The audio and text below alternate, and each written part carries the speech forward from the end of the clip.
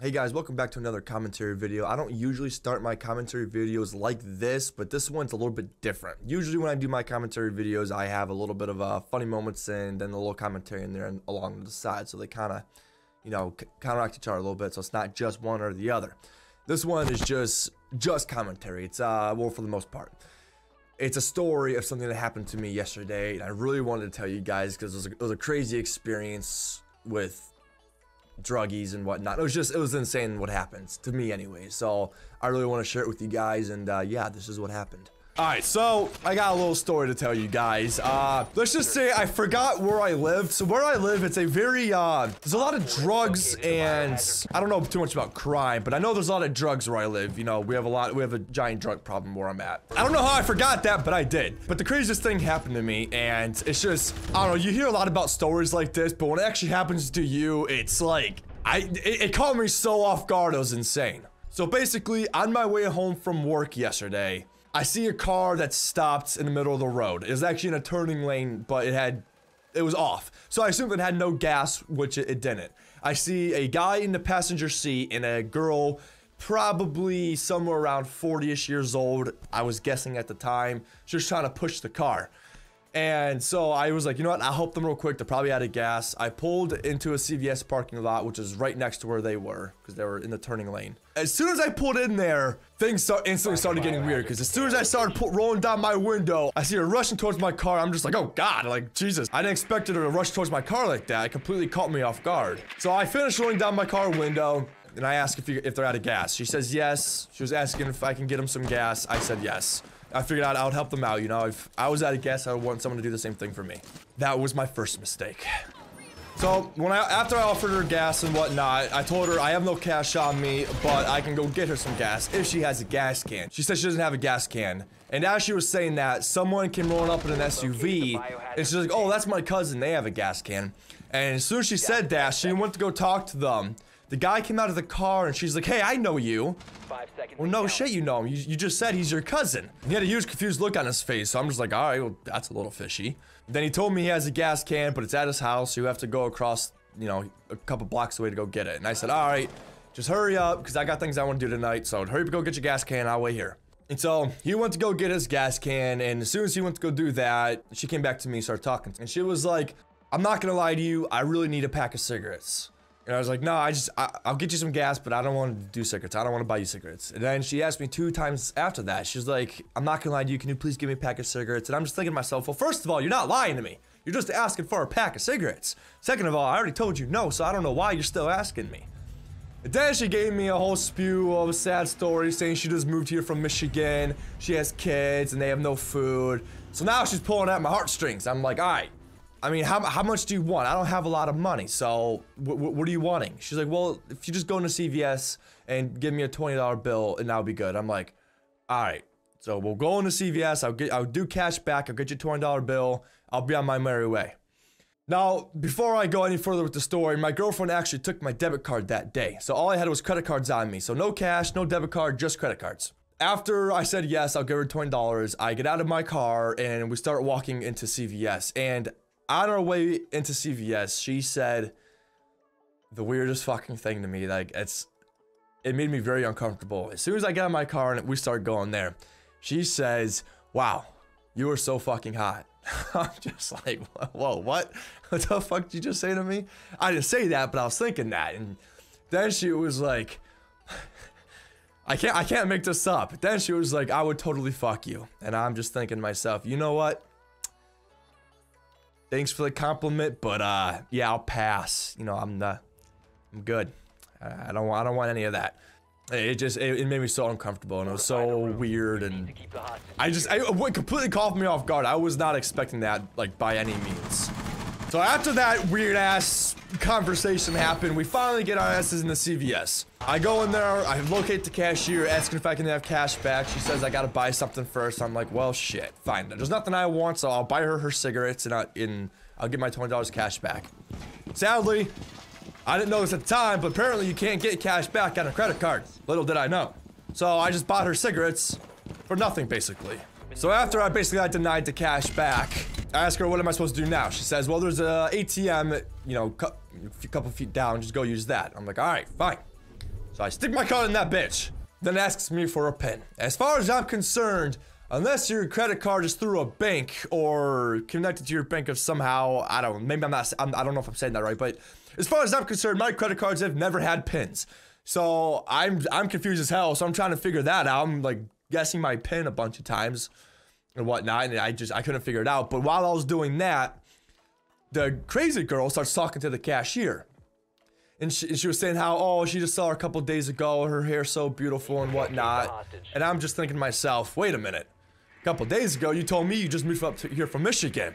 Now, granted, a couple days and just moving could be relatively close. I mean, that is, you know, but just the way she talked to her, she talked to her in a way that she knew her. So I just, it just didn't seem right to me. And she's acting all kind of like jumpy and sketchy and whatnot. So it just, I knew something was up with her. I just didn't quite know what. I saw. I, this, this is at this point. I started guessing she was on drugs, but I had no actual like confirmation that she was. So I'm still being a nice guy uh, in getting her her money, or at least trying to, anyways. Watch, watch my side. Then we both used my hole. As she was talking to the girl, she started talking to her about me. If you get my drift. And I'm just sitting there like, all right, this is really, really weird. You're talking to the cashier about me sexually and it is not, not fun for me. This is not cool. Another girl walks in, it's a customer, and she goes straight to the customer and starts asking her for money. And so at this point, she's asking all these people for money. I'm starting to get irritated. At this point, it's very obvious she's on drugs. She's just wants to get high. But it's like I already told her I would give her money, and she is actually out of gas. As far as I'm concerned, she's actually out of gas. And I already told her I'd give her money, so it's like I feel really bad to tell her like no, because you're on drugs. I think you're gonna use it to get high. I, I just I don't know. I feel way too bad to be like that. So I continue trying to get the money out. You know, it's like I like to think I'm an asshole, and I would like to think when I'm put in that situation, I will be an asshole. But I was put in that situation yesterday, and I was not an asshole. I, I was not who I thought I was. I thought I was a much meaner person, as weird as it sounds. And I couldn't bring myself to not give her money. Or at least try to anyways. I actually, I ended up not being able to give her money, but that's because I just, I literally couldn't. I tried, I really did. I don't know, I, I thought I would have been more annoyed than I actually was, knowing probably gonna use some of it for not food and gas. But I don't know, I, I don't know. Again, I felt bad. I was already in the middle of doing it, so I figured I'd just do it. Screw it. I finally get done fiddling with the ATM. I could not get my money out, so I went to go tell the, I went to go apologize to the girl that I couldn't do it. So I went to go turn around and look for her to apologize, and she was gone. I asked the girl, and she's like, "Oh yeah, she got done asking her for her for money." And then as soon as she said no, she left. I'm like, "Okay, well, that was kind of quick. Hopefully my car's not getting robbed because it's on the other side of the parking lot." So I hurry up and go out there to see, see what's going on. And her and the male were both uh, relatively close to my car. Not like they were peeking through it, but kind of just standing there. As soon as I exit CVS and I see them standing there, she yells across the parking lot asking if I have a lighter. So eventually, once I get up to her, I go to answer a question. I tell her, no, I don't have a lighter. I don't smoke. Well, she's like, well, I don't either. I just bought you cigarettes. What do you mean you don't smoke? She's like, oh, well, yeah, I smoke these. What the hell did you think I was talking about, crack? So eventually we get up to her car to get ready to start pushing it into the CVS parking lot because the dude's not there with the gas can yet, and I I don't have all night, so I was like, all right, let's start pushing your car. So the male's in the passenger seat. Me and her get behind the car, and we go to push it, thinking it's in neutral. Well, it, it goes up a little bit, then it stops. Clearly, it's still in park. So I I go around. I'm like, hey, yo, gotta put it in neutral, man. He says, okay. We go to push again. The bitch is still in park. I'm like, all right. So at this point, I'm starting to get irritated because I've already been dealing with these people for like 20 minutes trying to buy them crap and be on my merry way. And so I go up to him again, I ask him what he's doing, and he's sitting there, like, pulling on the, actually, I don't know what it's called. The thing that's, you know, for drive and neutral and reverse and all that, he's sitting there yanking on it in the passenger seat. So clearly, he's not pressing on the brake. So I tell him, like, listen, dude, you gotta hold on the brake to put it down in neutral. And he starts talking to me, well, should I say, he starts mumbling to me. He's completely Like, I can't even understand the guy. So I go, I go to the back of the car. I tell her she can't, he can't put it in neutral because he's not in the driver's seat. She starts screaming and saying, "Oh, I know how to drive my fucking car." I'm like, I never said you didn't. I, I just said he can't do it. So she hops in there, puts it neutral, and comes back. As soon as we get ready to push, another car pulls up in the CVS parking lot, which is right next to us. Uh, a little old lady comes out. She looks maybe 50-ish, something like that, maybe 60s. I don't know. It's kind of hard to tell. And uh, she so she gets ready to help start pushing, and the girl asks her for money. The, the crazy girl. She's like, no, no, no. I I'm not here to give you. I'm not here to give money. I'm just here to help you push. That's all I can do. She's like, okay. Well, do you at least have a a lighter? And she's like, why? What are you smoking? Crack? She's like, no, no. I'm just I want to light my cigarette. She's like, oh, well, I don't care about that. If you're smoking crack, I could help you out. And I was just like, what? So what you're telling me is someone's out of gas. I go help help them. And one I think is drunk, and the other one is clearly on something. I don't know what. And then as we're getting ready to push a car, an old lady comes up, and I'm assuming she's on crack. And uh, my assumption was right because we made out, we locked eyes for a second. I tell you what, the, her iris, the, the the blue part, was uh, it was a beautiful blue. That's probably because it was counteracted with the opposite color, red. And I'm not talking about bloodshot red. I'm talking about her eyes were redder than the devil's dick red. Like, it was just ridiculously insane. Like, you know the white part of your eyes where it's just, you know, supposed to be white? She had no white part of her eyes. It was all oh, just pure red. Woohoo! Double kill, baby! So we all start pushing. Me and the three non-sober, completely intoxicated people. We all start pushing her car. And as we start doing that, there's a cop on the other side and they're all driving towards us. And another car speeds out of a parking lot, completely cuts the cop off and then floors his engine.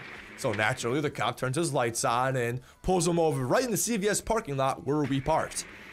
And the girl I was and the girl I was originally helping said, "I hope he doesn't stop us." Me and my uncle have warrants out for our arrest. Nice. So that's, you know. So that just adds on top of that craziness. So eventually we start getting the car pushing where we're getting going. We're getting somewhere. And as we're pushing the car, this dude is like completely not steering it. He's steering it into the, this is a four lane road. It's two lanes each way and he's completely steering it into the other lane. Like he's in almost in the middle of the road.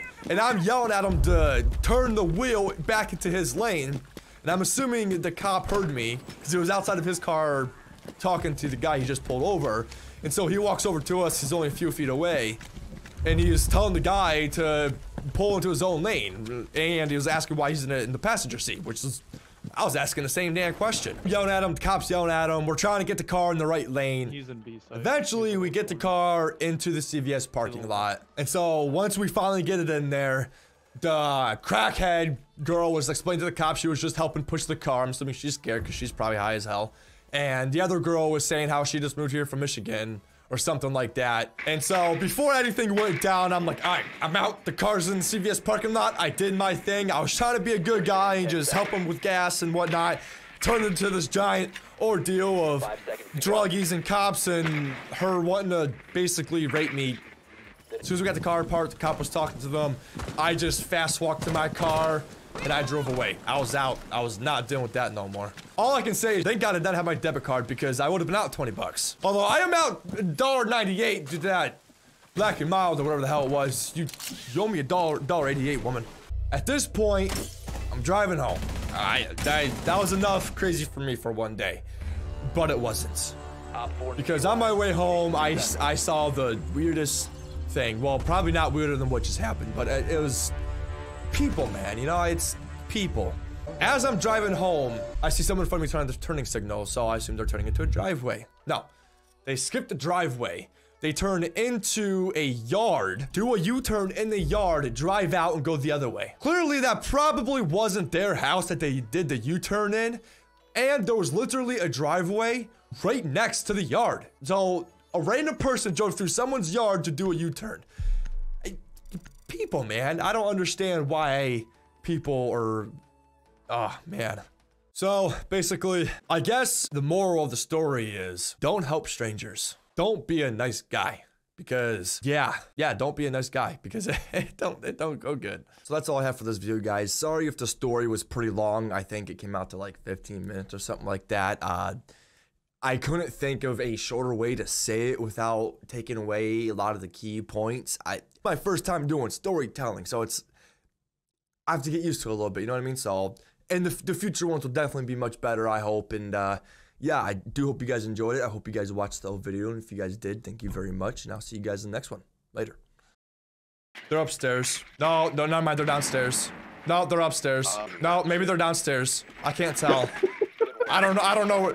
Where are they? Are they downstairs? Where are they? Oh, they're in the middle. All right. I was I was so wrong.